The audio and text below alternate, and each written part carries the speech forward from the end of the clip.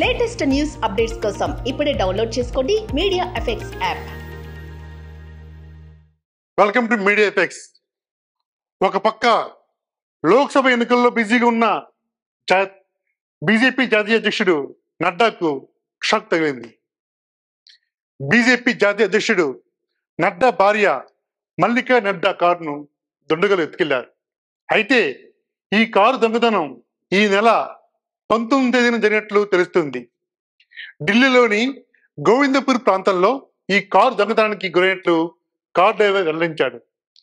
Car చోరైన తర్వాత వెతికిన డ్రైవర్ ఎంత కనిపించబడంతో ఆ విషయాన్ని నడ్డా భార్యకు చెప్పాడు. దీంతో వారు పోలీసులకు ఫిర్యాదు చేశారు.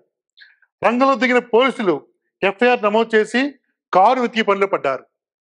ఈ క్రమంలోనే ఆ కారుకు చోరైన ప్రాంతంలో సీసీటీవీ ఫుటేజ్లను పోలీసులు పరిశీలిస్తున్నారు.